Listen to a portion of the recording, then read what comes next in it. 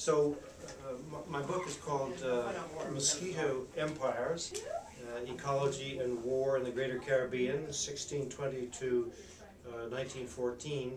And it's uh, an environmental history and a history of disease and a history of imperial competition and a history of uh, revolutions in the region between northern Brazil and the Chesapeake.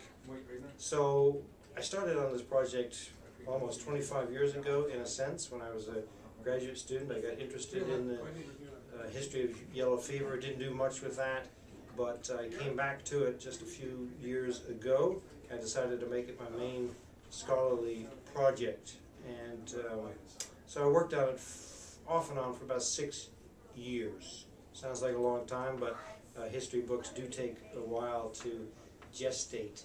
The main argument of the book is that with the arrival of a plantation economy and the slave trade, ecological changes took place in this zone in the Americas, mainly in the 17th and 18th century. Ecological changes that made circumstances much more propitious for the mosquito vectors of yellow fever and malaria and for the communication of the pathogens themselves, which is a virus in the case of yellow fever and uh, plasmodia in the case of malaria. So these ecological changes made it easier for these diseases to circulate, and because yellow fever in particular is extremely dangerous and uh, lethal to people who have no prior exposure to it, it hit different populations differently.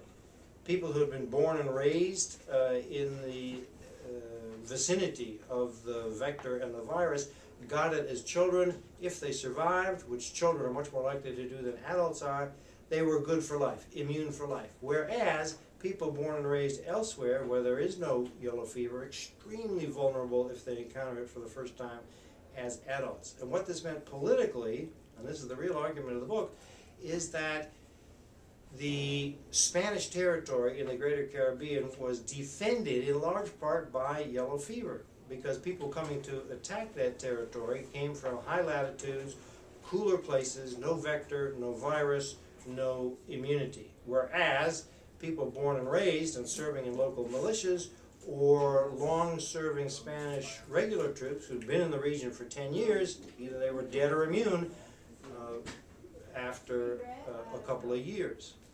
So, in effect, the Spanish Empire stayed Spanish, in part because of yellow fever and malaria. And then, the last part of the argument, when the populations born and raised in the Americas started organizing themselves for their own independence, starting wars of revolution, they enjoyed the same advantage with respect to yellow fever and malaria that the Spanish Empire had earlier enjoyed.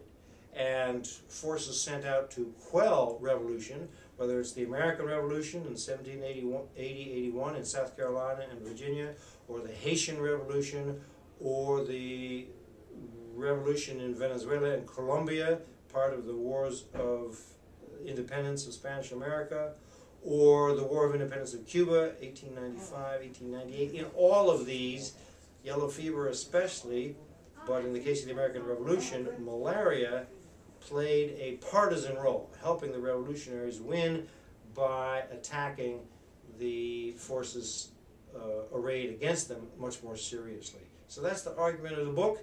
I'm glad it's done. I hope some people will read it. Thank you.